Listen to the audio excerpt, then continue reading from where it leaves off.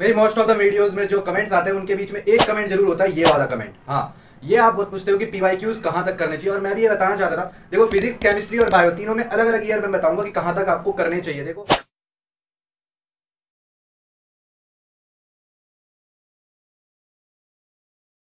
जब मैंने 22 का एग्ज़ाम दिया, उस टाइम मैंने फिजिक्स केमिस्ट्री में मैंने 2013 तक के क्वेश्चन किए थे प्रीवियस ईयर से, ठीक है? लेकिन जब मैं 2022 का पेपर देखा, उसमें जो क्वेश्चन मेरे छूट रहे थे या फिर मेरे से नहीं हुए, वो क्वेश्चन 2000 के टाइम में आए हुए थे। उनके कॉन्सेप्ट से ही क्वेश्चन आए हुए थे, तब मैं चौंक गया, ये क्या हो गया? ठीक है तो इसलिए मैं जब 2023 की प्रिपरेशन करी थी, जिसमें मैं सिक्स स्कोर कर रहा हूँ, उसके लिए मैंने 2000 तक के वो पीवाईक्यूज को करा फिजिक्स और केमिस्ट्री में। उनमें वो वाले पीवाईक्यूज अच्छे से करें, उनके कॉन्सेप्ट सारे प्रैक्टिस करें। उससे क्या होता है, आपका सारा चीज़ कवर हो जाएगा। जो आज तक पूछा गया था, सब कुछ कवर हो जाएगा। और वही, वहीं से क्वेश्चन ज़्यादातर डिराइव होकर आता है। ठीक है तो फिजिक्स और केमिस्ट्री में तो आप 2000 तक कर लेना। ठीक है, मेरी मानो तो जो कि मैंने अपने एक्सपीरियंस से बता रहा हूँ। और बायो में देखो बायो में सर ने भी बताया था, मेरे तरुण सर ने भी बताया बेसिकली 2013 के अराउंड से हमारे काम के होते हैं।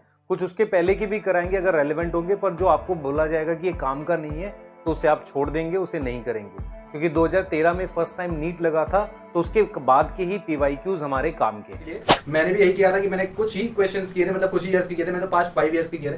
पहले 2013 के मैंने उन चैप्टर्स को किया था, जो कि इंपोर्टेंट मेरे को ज़्यादा लग रहे थे, जैसे कि ह्यूमन रिप्रोडक्शन हो गया जेनेटिक्स हो गया, इनमें मैंने 2013 तक के क्वेश्चन कर लिए थे। उसके अलावा मैंने दो दो तक के ही क्वेश्चन ज़्यादातर किए ठीक है पीवाईक्यूज में। तो बायो में उतना ज़रूरी भी नहीं होता क्योंकि बार बार एनसीआरटी से उनके पास बहुत क्वेश्चन है पूछने के हाँ कुछ कॉन्सेप्ट होते हैं जो कि रिपीट करते हैं उनके क्वेश्चन जैसे कि रेस्पिरेशन चैप्टर हो गया, उसमें बैलेंस शीट से काफ़ी बार क्वेश्चन रिपीट कर जाते हैं मतलब कॉन्सेप्ट वाले क्वेश्चन रिपीट कर जाते हैं, घुमा फिरा के पूछ देते हैं। तो उन कॉन्सेप्ट को अलग से स्ट्रॉन्ग कर लेना क्वेश्चन प्रैक्टिस से, ठीक है। तो इसमें भी मतलब पाँच दस साल तक कर लो, उससे ज़्यादा करने की ज़रूरत नहीं है, क्योंकि बायो में टाइम बचा और फिजिक्स केमिस्ट्री में लगा तो बढ़िया हो जाएगा, बस।